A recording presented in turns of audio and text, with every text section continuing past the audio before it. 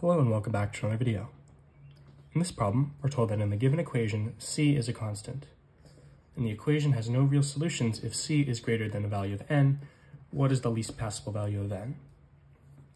So the way about going to solve this is not worrying about how to find when we have no real solutions.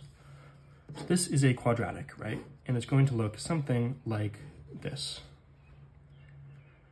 When we have no real solutions, that means that it's not touching the x-axis.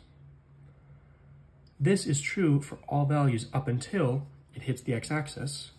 Draw another one right here, in which case we have exactly one solution.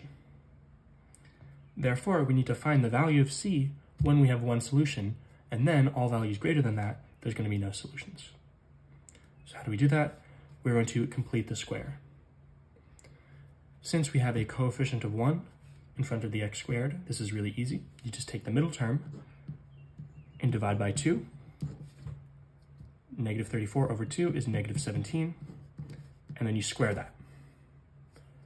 This value is 289, and when c is equal to 289, the equation has exactly one real solution. When c is greater than 289, there are no real solutions, therefore n is the least possible value of 289, and your final answer.